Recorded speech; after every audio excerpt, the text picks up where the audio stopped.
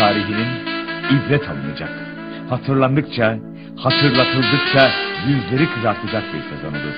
1986-87 sezonu. Futbol hiçbir zaman olmadığı kadar yeşil sahalarda değil, masa başlarında sonuçlanan bir oyun olmuştur bu sezonda.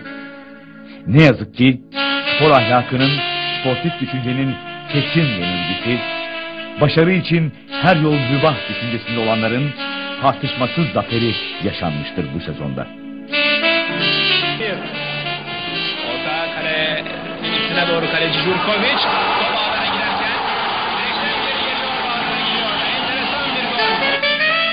Önce bir penaltı, ardından kaleci Yurkoviç'e yapılan faul sonrası kazanılan gol. Beşiktaş'ın bir puanı hakem kararıyla uçup gitmiştir Samsun'da. Genel kaptan Zekeriya Alp, sezon sonunda bir puan farkla şampiyonluğu kaybedersek bunun hesabını kim verecek diye isyan etmektedir. Kale alanı içinde Kemal Yıldırım dışarıda durmuş. Orta ceza alanına Kemal Yıldırım. Mustafa. Boşta kalan top üstüne vuruşu. Top ağlarda.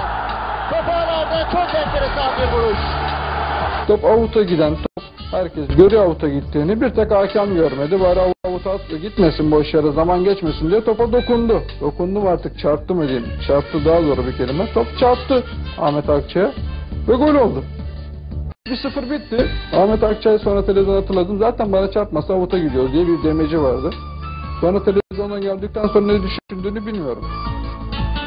Çünkü o maçı yani Ahmet Akçay'ın golü attığını çok iyi hatırlıyorum. O demecini de çok iyi hatırlıyorum. İyi oynadığımız bir maçta gene bir şanssızlık diyeyim ya. Her türlü olumsuzluklara rağmen rakiplerini bir bir devirerek liderliğini sürdürür siyah beyazlılar.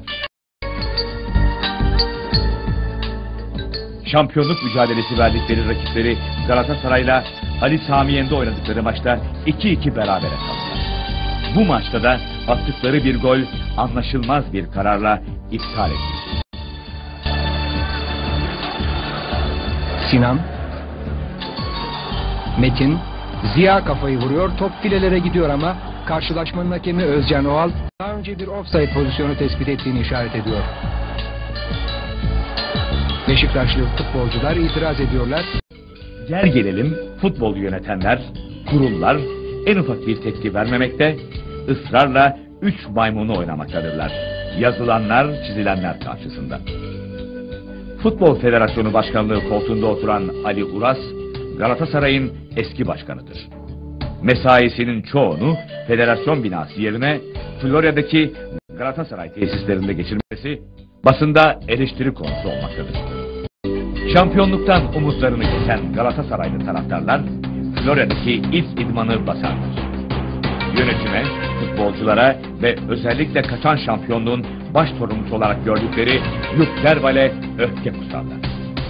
Protestolar bitmek bilmemektedir. Luke Derval istifa ettiğini açıklar. Derval'in istifasından bir gün sonra yardımcısı Mustafa Denizli de görevi bıraktığını açıklar.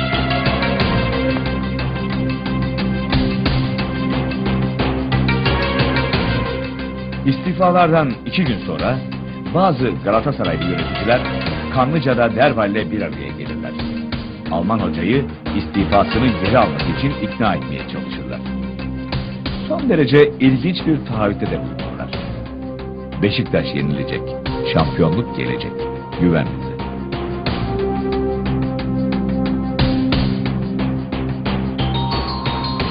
bizim o dönem oynadığımız rakipler e, ne hikmetse sanki şampiyon olacakmış gibi karşımızda mücadele ediyorlar.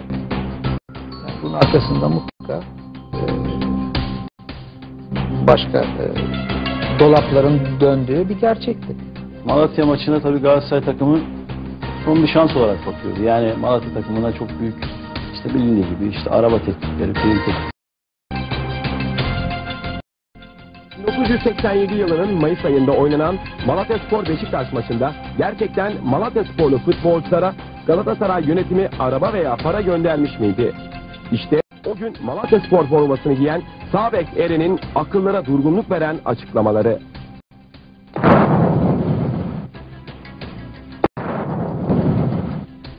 Yendik para aldık kardeşim.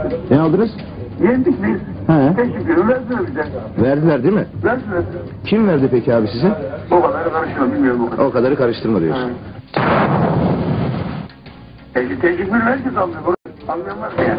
Sen sağ bek mi oynadın o maçta? Ha, kim vardı başka? He. Ha, Ünal vardı, Ünal da aldı. Milli takımı yaptı. Ünal'da aldın para? Ünal da vardı tabii. He. he. Ünal'ın Ünal da. Ne yaptı? Ünal da vardı takımda. Büyük Metin vardı. O şey yaptılar bir şey bilmiyorum. Büyük Metin mi ayarladı? Ha. He. Bak Para geldi ama nasıl geldi bilmiyorum ben. Eren'den sonra o gün Malatya Spor formasını giymeyen ancak olayları dün gibi hatırlayan sol bek konuşuyoruz. Şehmuz'un sözleri de tarihe tam anlamıyla ışık tutuyor.